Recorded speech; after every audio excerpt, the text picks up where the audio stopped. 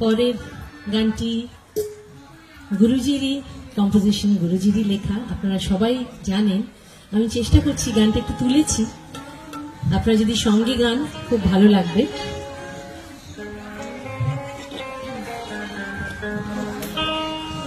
গানটি হলো, প্রেম রঙে রাঙিয়ে মন, চলো ব্রজে যাই। গুরুজি আমার ভুল ত্রুটি ক্ষমা করে দেবেন। এ ফ্ল্যাট না?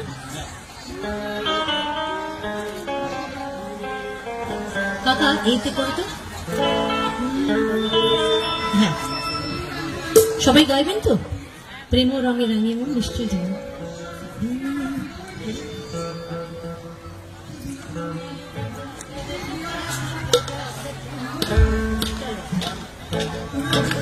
প্রেম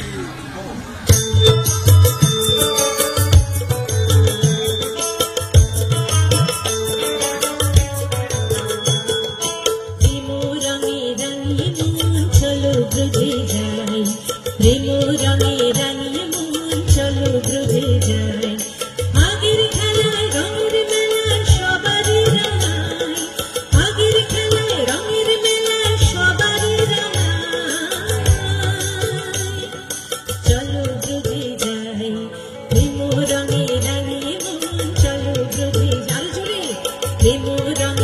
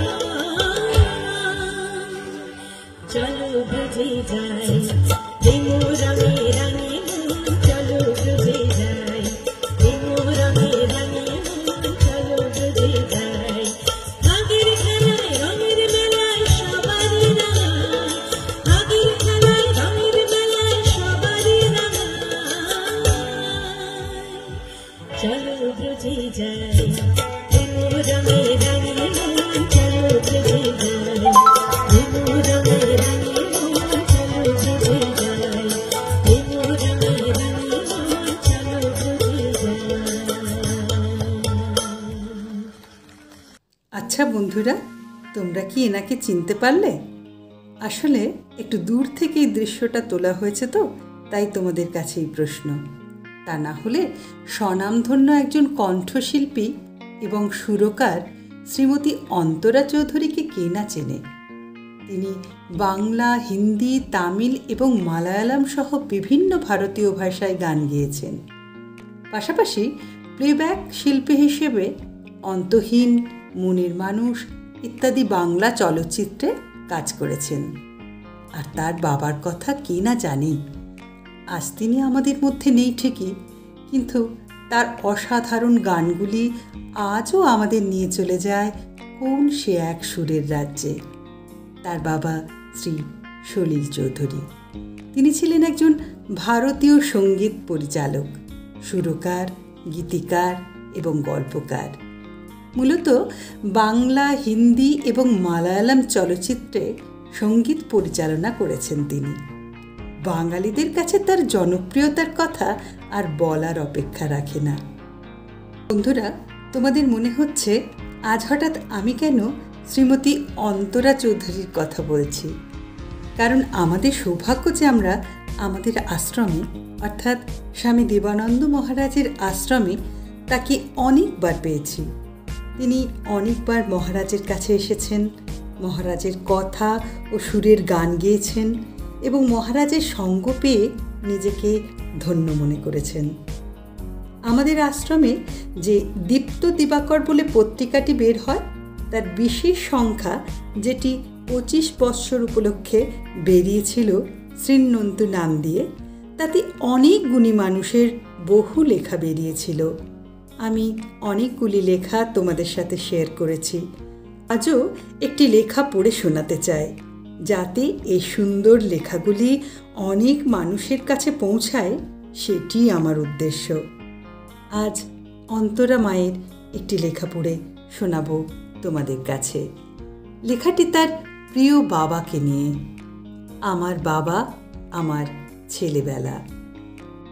দেখতে দেখতে তেইশটা বছর পেরিয়ে গেল।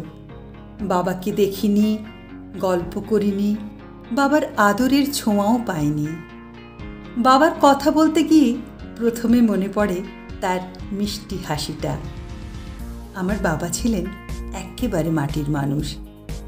আমার কখনো মনে পড়ে না যে বাবা আমাকে জোর গলায় কিছু বলেছেন বা বকেছেন।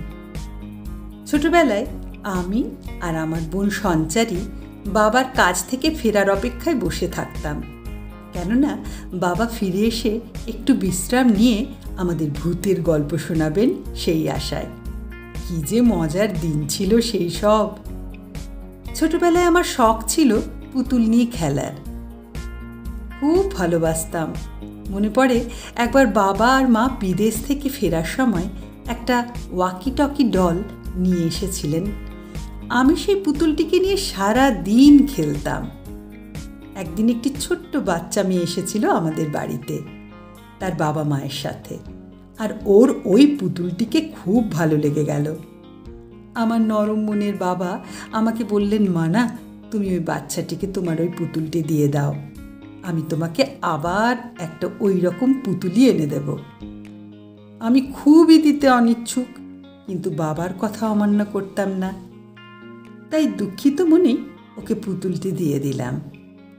কিন্তু বড় হয়ে বুঝেছিলাম যে বাবা এই দেওয়ার ভেতর দিয়ে একটি বড় শিক্ষা দিতে চেয়েছিলেন আর বলেছিলেন যে সব কিছুই ভাগ করতে হয়, সবার সাথে বা শেয়ার করতে হয়। উনি বলতেন, যত মানুষের সাথে ভালো ব্যবহার করবে, তাদের জন্য দুঃখে সুখে পাশে থাকবে সবাই তোমাকে আরও ভালোবাসা দেবেন।